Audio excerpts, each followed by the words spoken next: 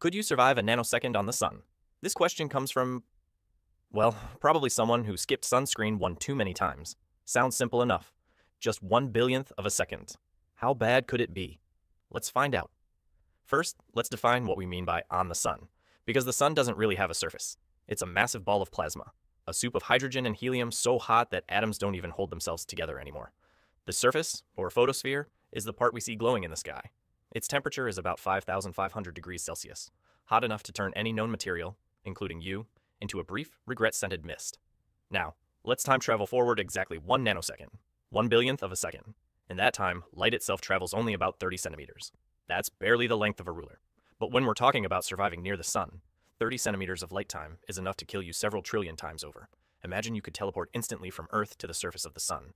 No spaceship, no heat shield, just you, floating there. For the first trillionth of a second, photons from the sun's surface bombard your body with energy so intense that the molecules holding your atoms together simply give up. The bonds break, the atoms scatter, and congratulations. You've just become a rapidly expanding cloud of plasma. By the time that single nanosecond has passed, you haven't merely been vaporized, you've been unwritten. The concept of you no longer exists in any recognizable atomic form. The energy absorbed by your body in that instant is roughly equivalent to being hit by the combined output of several nuclear bombs focused entirely on a single human sized spot.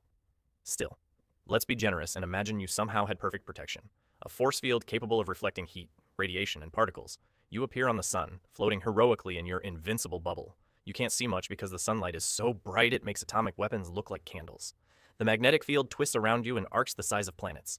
Superheated plasma loops, called prominences, rise hundreds of thousands of kilometers into the air, swirling like fiery tsunamis. And then the real problem begins gravity. The sun's gravity is 28 times stronger than Earth's. You'd weigh almost 3 tons. If your magical bubble had any connection to the sun's surface, it would immediately flatten into a two dimensional pancake.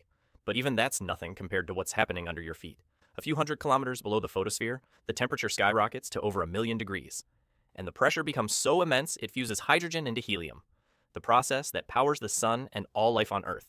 You are, essentially, standing on the biggest nuclear reactor in the known universe. Now let's look at the timescale again a nanosecond. The sun emits about 3.8 times 10 to the 26th watts of energy every second. That means in one nanosecond, it releases about 3.8 times 10 to the 17th joules.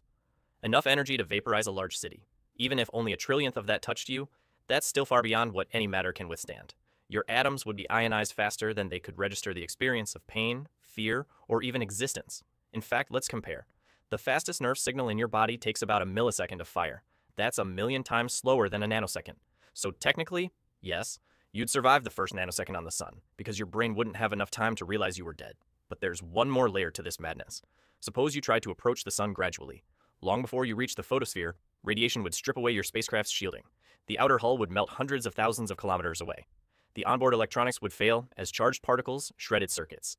Even if you were inside a ship made entirely of theoretical materials like graphene or tungsten plasma mirrors, you wouldn't make it anywhere close. The photons alone would disassemble matter at the atomic level. So maybe the question isn't, could you survive a nanosecond on the sun? But rather, could anything survive even the idea of being on the sun? And the answer, as always with cosmic scale stupidity, is no. Still, humans are a curious species. We build giant telescopes, launch probes like Parker Solar Probe that dare to skim the sun's atmosphere. These machines don't survive the sun.